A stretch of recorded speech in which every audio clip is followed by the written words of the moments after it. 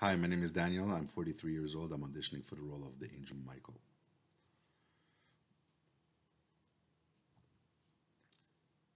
Lily, can you hear me?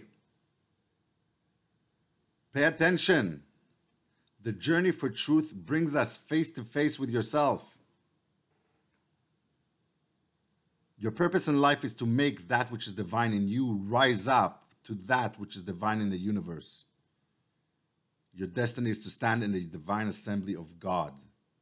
I have been sent here to anoint you with the knowledge of God.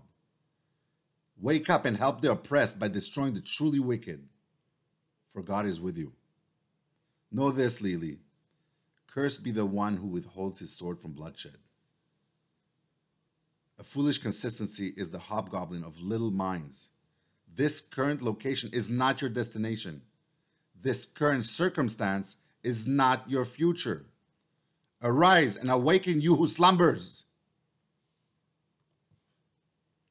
Thank you.